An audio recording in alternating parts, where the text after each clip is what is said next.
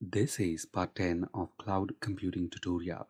There are different types of clouds, private, public, and hybrid. In our previous three videos, we discussed what these different clouds are, their benefits, limitations, and use cases. In this video, we'll compare them side by side. First, let's talk about cloud hardware. As far as the private cloud is concerned, the entire cloud infrastructure that is, the physical servers, storage, networking, etc., must be procured by the organization that owns the private cloud. When it comes to the public cloud, the public cloud service provider like Amazon or Microsoft provides the infrastructure. Now, remember, a hybrid cloud is not a different cloud altogether. It's just that both the clouds, that is, private and public clouds, work together to meet the organization needs. So, for the private cloud, your organization must provide the infrastructure, whereas the public service provider provides the infrastructure for the public cloud. Tenancy A private cloud is usually used by a single organization, that is, single tenancy. A public cloud is used by multiple organizations, that is, multi tenancy. The private part of the hybrid cloud is used by a single organization, whereas the public part of the hybrid cloud is used by multiple organizations. Data center location. Inside the organization's corporate network, anywhere on the internet, public cloud like AWS and Azure data centers, for example, are typically located in many countries across the entire world. The private cloud data center is typically inside the organization's corporate network, and the public cloud data center could be anywhere on the internet.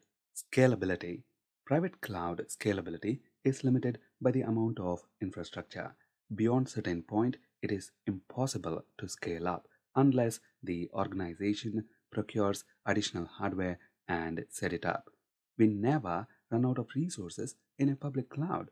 It provides near unlimited scalability. The scalability of the private cloud services and resources is limited by the underlying available infrastructure, whereas with the public cloud services, we do not have such a limitation.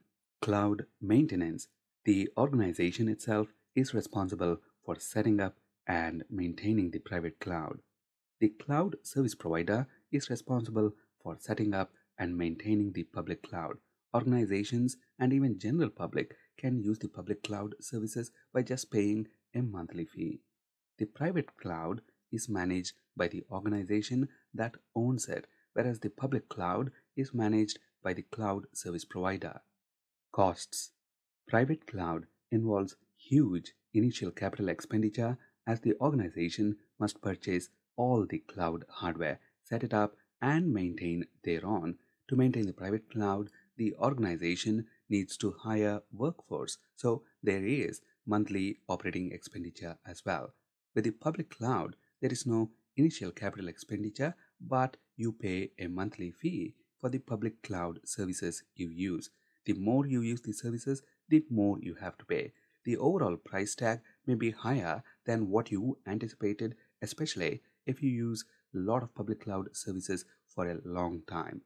With the private cloud, the organization is faced with both the initial capital expenditure as well as monthly operating expenses to maintain it.